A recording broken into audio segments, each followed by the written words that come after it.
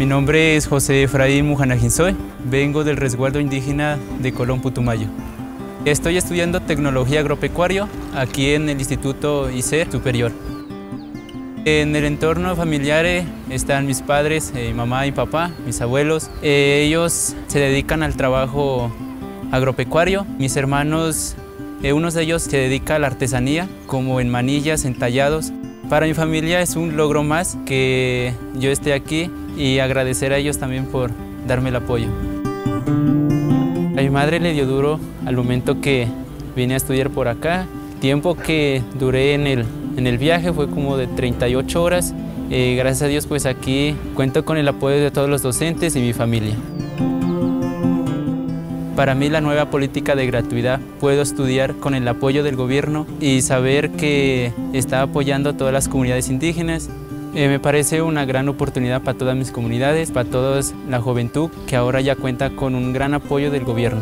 Para nosotros ese tema es muy importante, mm, dado que podemos también tener un crecimiento en la cobertura, también poder retrovertir esas inversiones que hace el Estado en precisamente generar desarrollo de capacidades en los entornos rurales. Me enteré de este instituto, fue por una persona que me, me dijo que escogiera esta universidad o el instituto, ya que brinda la mayor oportunidad para las comunidades indígenas.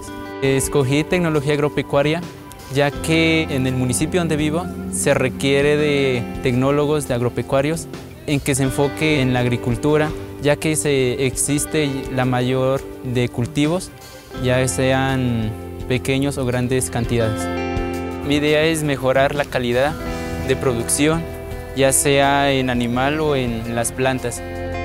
A futuro lo tendría en un punto de vista es gestionar proyectos en que ayude a mi comunidad, eh, ya sea en agropecuario o industrial. El futuro del país eh, está en un punto de vista excelente en que el gobierno ayude a las comunidades indígenas, no solo a las comunidades, sino a otras comunidades que ya sean desplazadas, entre otras, que ayude a esas personas y también se dé a conocer en algunas partes que no pueden llegar la información. Para mí es un logro más y orgulloso por estar aquí estudiando. También es un llamado pues, a toda la población eh, pues realmente a generar espacios que permitan eh, no solamente entendernos entre nosotros, sino también entender otros pensamientos, otra vida y otro mundo, como precisamente lo tienen los indígenas. Con la nueva política de gratuidad Puedo Estudiar, las comunidades indígenas tenemos prioridad para acceder a la educación superior. Colombia, potencia de la vida.